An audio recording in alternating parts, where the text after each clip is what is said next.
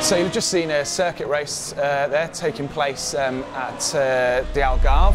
Um, a selection of cars out there is uh, the from the GT3 class. This is kind of straightforward, first past the uh, the finish line. So uh, the car, the cars you'll see here is uh, kind of the, the, top end of the game. These are the real thousand brake horsepower monsters where you really have to uh, to know your racecraft to, to hold it on track. And uh, you'll also notice that each car performs and handles ever so slightly differently. And we've worked extensively with, with real life race drivers to make sure that we can capture the nuances of, of each individual individual vehicle.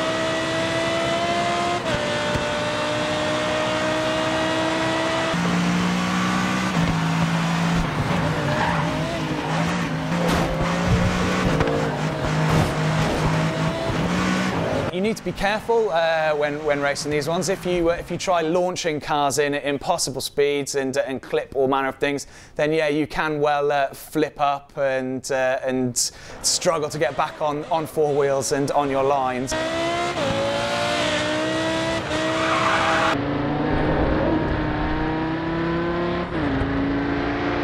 So uh, yeah, I'd recommend staying out of trouble, racing clean, and uh, and yeah, making sure that you're not uh, trying to turn in at 220 miles an hour.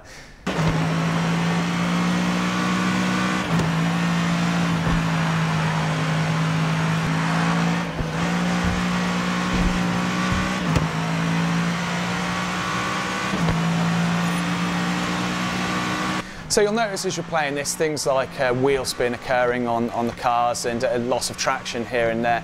Um, and it's something we've, we've pushed further and further from the original grid. And um, our, our, guys have worked immensely hard on our, uh, our physics uh, engine and, and the components in that um, to make sure that we can accurately replicate how tyres would perform under wheel spin when traction will come back.